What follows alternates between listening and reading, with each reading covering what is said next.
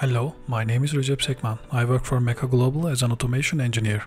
I would like to introduce you our on-site type mobile and compact concrete batching plant that we call S30. S30 is a great solution for small to middle production quantities. It can produce up to 30 cubic meters per hour. S30's compact design is reducing the transport cost and allows fast setup and production. S30 consists of three parts mobile trailer chassis, stackable conveyor, cement feeding system.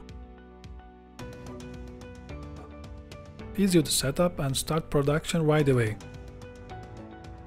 In our electrical panel, we are using well-known brands such as Siemens, Schneider and Omron. In our automation system we have 10-inch panel-type capacitive touchscreen computer, ink-free thermal printer, voltage and current indicators, our panel type computer has Windows 10 64-bit operating system installed and we are using Microsoft SQL database as our data storage for its speed and reliability. Let me show you how to start concrete production easily thanks to our modern and minimalist user interface. First, type your provided username and password, then click login. Go to recipe and enter your recipe values for aggregate, cement, water and additive of your choice.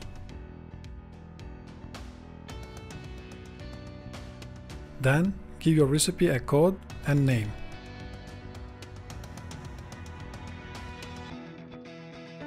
Press Save button.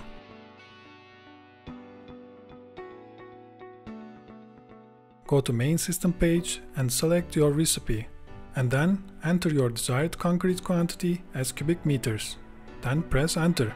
Make sure you are in the automatic mode and press and hold start button until it turns green. That's it. Congratulations, you have started your first concrete production. For more information, please visit our website and check the links below at the description. Don't forget to subscribe our channel and press notification bell for more videos. Have a nice day.